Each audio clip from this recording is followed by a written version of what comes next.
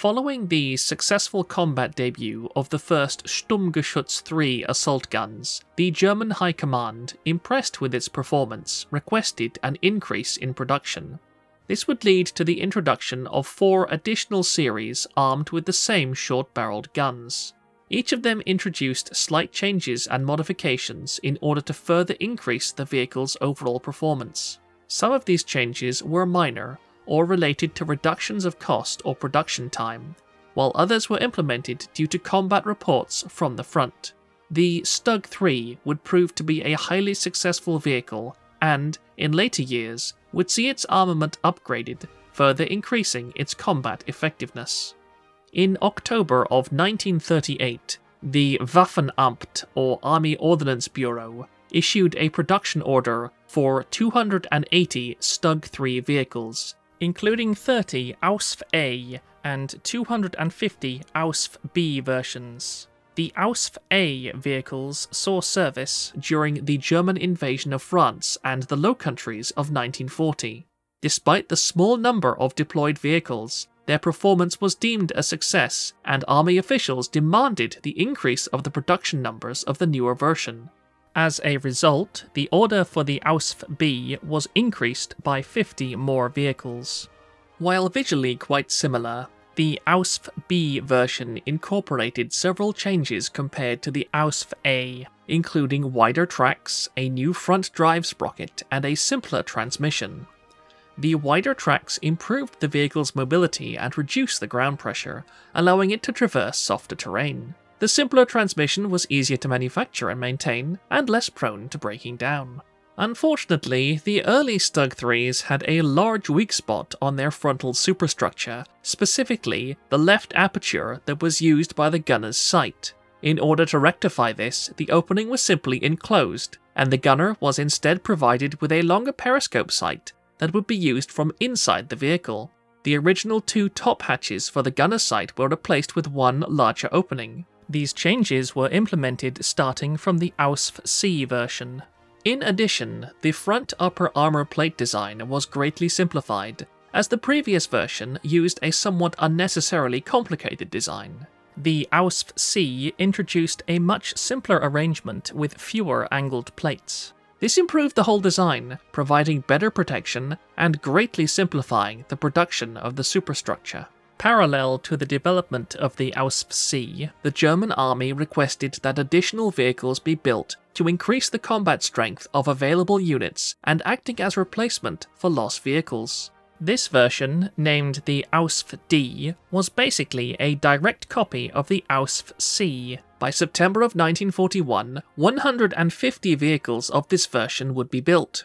However, in order to improve the level of protection without adding extra weight, the frontal armor plates of the Ausf D were face hardened to a greater degree. By increasing the face hardening of the frontal armor plates, the Stug 3 Ausf D was better able to withstand enemy fire without adding significant weight or reducing its mobility. This made it a more effective combat vehicle and helped to increase the combat strength of available units. The last of the short barrel series would be the Ausf E. The previous versions mainly introduced modifications aimed to improve the overall design and combat effectiveness. One of the problems noted with the Stug 3 was the lack of a command vehicle with specialized radio equipment. While the existing Stug 3s were equipped with radio receivers, they could not store additional equipment needed for a unit commander. These Stug 3s had limited interior space, and modifications were needed to accommodate additional radio equipment. This involved increasing the size of the superstructure panniers, which provided additional space for the radio equipment. For Stug 3 Ausf Es that were allocated as replacement vehicles without the extra radio equipment, the additional free space would be used to store more ammunition rounds. The Ausf E was also the first version to receive a machine gun. This provided the Stug 3 Ausf E with a degree of protection against enemy infantry, since the vehicle lacked a turret and could not quickly respond to threats from different directions. Initially, a production order of 500 Ausf Es was given, and assembly began in September of 1941. After some 284 vehicles were built, Further production was cancelled in February of 1942. Priority was instead given to the longer barrel equipped on the Ausf F.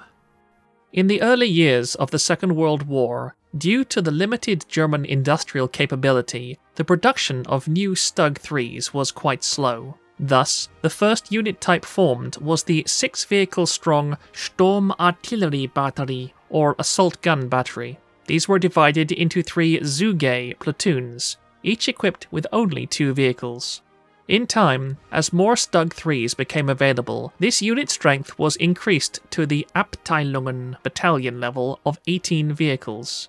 These battalions were divided into three batteries, each six vehicles strong. Once the Ausf E entered service, the strength of the battalion would be increased by three commanding vehicles. Following the completion of the Western Campaign, the Stug III would see service during the Axis invasion of the Balkans. The war in this area was initiated by the Italians during their failed invasion of Greece, and following the deterioration of their military situation, they begged their German allies for help. Counting on its Balkan allies and the neutrality of Yugoslavia, the German army prepared for an invasion of Greece. But the whole situation was greatly complicated by the overthrowing of the Yugoslavian government on the 27th of March 1941 by pro-Allied military officers. Hitler was naturally furious with this development and immediately ordered the Yugoslavian invasion commence.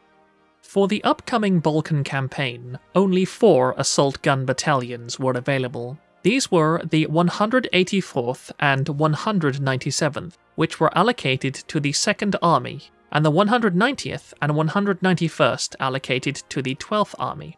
The 184th and 197th participated in the attack on Yugoslavia. Given the rapid collapse of the Yugoslavian army, their combat use was likely limited. Nevertheless, at least two Stug 3s were reported lost in Yugoslavia. The other two assault gun batteries were stationed in Bulgaria, and from there, they would cross the border to Greece and proceed to attack the Metaxas line. Unfortunately, similar to the French campaign, their combat use in this operation was poorly documented by the Germans, and much remains a mystery. For the invasion of the Soviet Union in 1941, the Germans managed to form 12 assault gun battalions and 5 additional batteries. These were divided into the three Heeresgruppen, or army groups, Nord, Mitte, and Süd. It was expected that the main effort was to be carried out by Army Group Center, and eight assault battalions were allocated to this part of the front. Army Group North received five batteries supported by two battalions. The remaining units were all allocated to the Army Group South. In the early stages of the war with the Soviets, the Stug 3 vehicles achieved great success. For example, the commander of an unspecified unit, Rudolf Jaenicke, is credited with having destroyed some 12 Soviet BT 2 tanks. Another successful commander was Oberleutnant Peter Frantz, whose unit took part in the heavy fighting for Tula in December 1941. His unit managed to destroy some 15 Soviet tanks in a single day of fighting. The 667th Battery particularly performed very well during the battle for the approaches to Leningrad. During the advance towards their targets, this battery saw heavy action while supporting an infantry formation from the 1st Corps, thanks to the efforts of the 667th Battery and its commander, Oberleutnant Joachim Leutzau. Reported enemy losses during the period from the 12th to the 19th of September 1941 included some 225 bunkers destroyed, along with 301 heavy weapons and machine gun nests. In addition, 6,500 enemy soldiers were taken captive, with 92 guns being captured. For his effort, Joachim Leutzau was awarded the Knight's Cross Medal. Kurt Kirchner, who in early 1942 was credited with destroying 30 Soviet tanks, was also part of this unit regardless of the success made by the units operating these Stugs 3s. The heavy Soviet resistance meant that losses began to rise. For example, in the case of the 184th Battalion, of its original 21 vehicles, 16 were operational by the 20th of August 1941. Two Stug 3s were completely destroyed and had to be replaced. During the German advance, the Stug 3 was often used as an improvised anti tank vehicle, despite not being designed for such a role. The experience gained during the first year of the war in the East showed the general ineffectiveness of German tank and anti tank guns, including the short 7.5cm gun used by the Stug 3s. While primarily designed to engage fortified positions using a high explosive round, this gun was still capable of piercing some 39mm of armour at 500 meters. This was more than enough to deal with the T-26 and the BT series, but against the new Soviet designs such as the T-34 or the KV series, these rounds were almost completely ineffective. During firing trials carried out on the Eastern Front in September of 1941, it was found that the T-34's front armour could not be penetrated when using the standard armour-piercing rounds for the short 75mm gun. In rare unlucky cases, the turret's front armour was penetrated, but the side and rear armour were immune to even the armour-piercing rounds. The only vulnerable spot was the lower hull side, which could be easily penetrated, Surprisingly enough, the high explosive round was the most effective. While it could not penetrate the thick armour of the enemy tank, its explosive firepower was enough to cause serious damage by blowing up the suspension or even jamming the gun. Despite this, the Stug 3 was capable of destroying a T-34, albeit at close range and with the luck and skill of its crew. For example, vehicles from the 201st Battalion managed to destroy a number of T-34s at close range in October of 1941. By this point, due to the ineffectiveness of their tank and anti-tank guns, the Germans were becoming desperate to find a solution. The introduction of tungsten-based ammunition was seen as a potential answer. The downside of it was that Germany was in very short supply of this material, Due to the 7.5cm L-24's low velocity, the Germans never developed a tungsten round for this gun. Instead, they approached the problem from another angle. In 1941, Adolf Hitler issued an order for the production of shaped charge rounds to begin as soon as possible. Such rounds had a velocity of 450 meters per second and were able to penetrate 75 millimeters of armor regardless of the range. While on paper this meant that any enemy tank currently fielded by the Soviets could be defeated in this manner, reality was very different. For example, the low velocity led to extremely limited accuracy. In addition, the overall ballistic design of the round was far from perfect, and it often simply bounced off or failed to penetrate at all. Interestingly enough, following the introduction of this new ammunition, the production of standard armor-piercing ammunition was discontinued at the end of 1942. The second year in the east brought with it a new but much smaller German offensive towards the city of Stalingrad and the resource rich Caucasus. But before that, they had to subdue Crimea, where the Soviets had launched their own attacks. Given the extensive Soviet threat to the German operations in Crimea, Generaloberst von Manstein launched his own offensive, named Trappenjagd. The main spearhead of this operation consisted of the newly arrived 22nd Panzer Division, supported by the 197th Battalion equipped with Stug 3s. The attack would prove to be highly successful, and the Stug 3s distinguished themselves in combat. They provided the necessary infantry support, but, yet again, due to the lack of effective infantry anti-tank guns, the Stug was used in anti-tank roles. The German operation lasted from the 8th to the 20th of May 1942. During that time, the 22nd Panzer Division and the 197th Battalion managed to destroy 250 Soviet tanks with the loss of only 3 Stug 3s and 8 Panzers. The 245th Battalion, equipped with some Stug 3 Ausf E's, was sent to the Eastern Front to participate in the German drive towards the Caucasus in June of 1942. It participated in heavy fighting north of Stalingrad at the end of 1942, and it still had a number of Stug 3 Ausf E's during 1943.